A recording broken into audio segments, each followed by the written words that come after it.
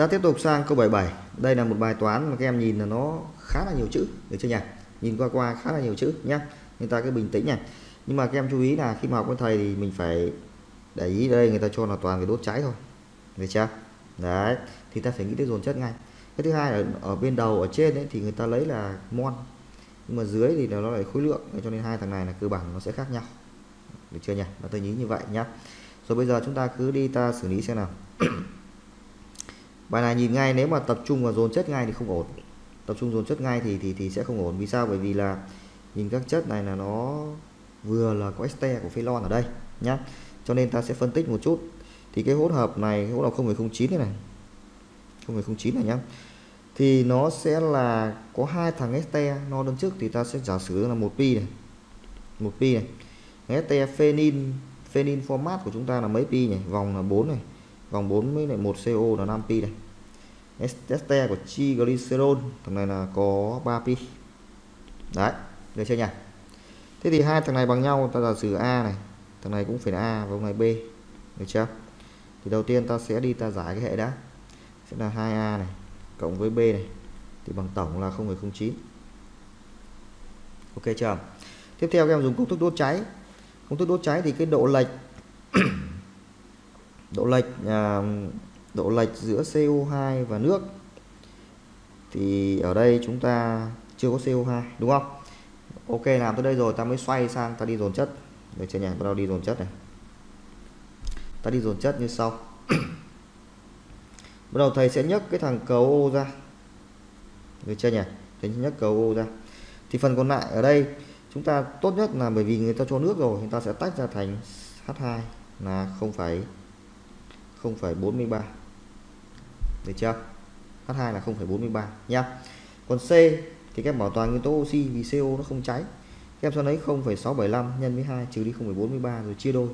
Thì thằng này là 0,46 đấy nha. Thì bây giờ các em để ý này khi mà chúng ta nhấc CO ra thì cái độ lệch đây độ lệch giữa thằng nước và thằng CO2 này. Thì thằng 1 pi nó sẽ biến thành 0 pi.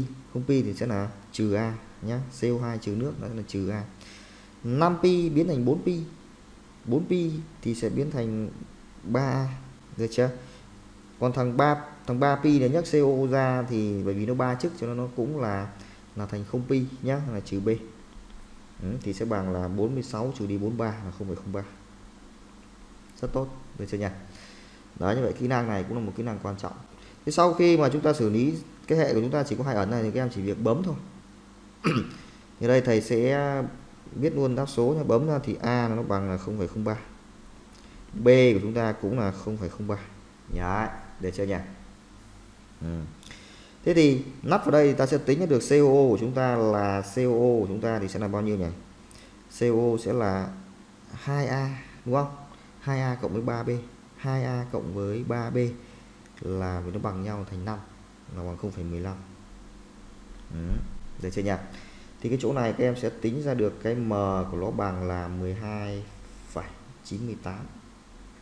12,98 gam so với 51,92 thì các em chia ra thấy là nó bằng 1 phần tư nhé bây giờ ta xoay sang ta xử lý với cái 51,92 thì nó bằng 4 mà nhân với 12,98 đó được chưa nhỉ?